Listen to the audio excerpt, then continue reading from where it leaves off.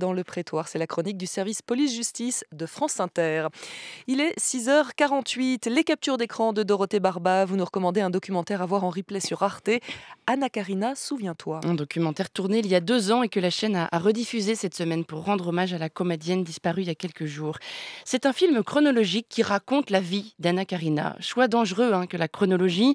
Ça pourrait donner un documentaire un peu rasoir. Mais ce film-là est magnifique. D'abord parce que la vie d'Anna Karina mérite d'être racontée en entier. Sa vie est digne d'un roman. Elle est née en 1940 à Copenhague, dans un Danemark occupé par les nazis. Elle a vécu les bombardements et les couvre-feux. Et puis, en grandissant, sa mère s'occupait très peu d'elle, alors elle fuguait beaucoup. À 17 ans, c'est la dernière fugue. Elle part pour Paris. Et là, dans un café, elle est repérée par la directrice d'une agence de mannequins. Tout à coup, on a vu une petite fille, euh, vraiment très sale, style beatnik d'aujourd'hui, avec un vieil imperméable d'homme, des chaussures éculées, mais un regard extraordinaire qui, qui dévorait les gens autour d'elle. Ce regard euh, grand ouvert sur quelque chose de nouveau qui faisait que la photo était très bonne. Pas mal, pas mal du tout.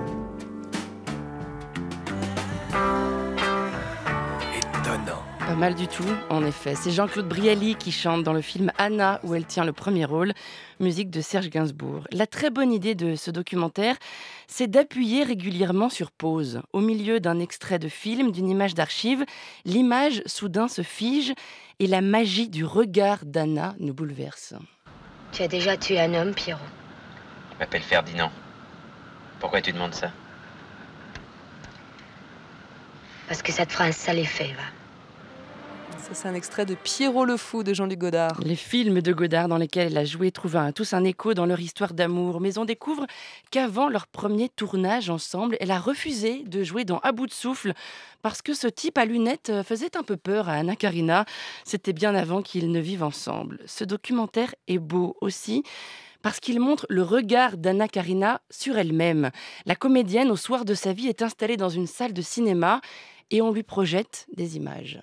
Je ne suis pas sage, je suis très cruel, mais aucun n'en enrage, parce que je suis très belle.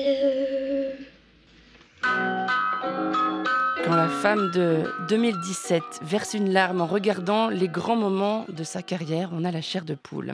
Et puis j'ai gardé pour la fin la raison pour laquelle ce film est, très spécial.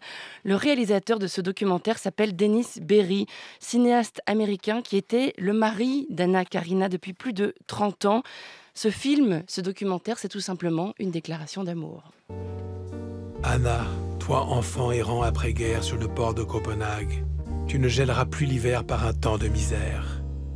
Tu continueras à prendre tous les trains vers de nouvelles vies, de nouveaux lendemains. Toi, faite pour être en pleine lumière, faite pour te réchauffer le cœur sous le soleil. Un point précis sous le tropique du Capricorne ou du Cancer. Depuis j'ai oublié lequel sous le soleil exactement. Anna Karina, souviens-toi de Denis Berry. C'est à voir sur le site d'Arte. Merci pour cette très belle capture d'écran, Dorothée Barba. Il est 6h52.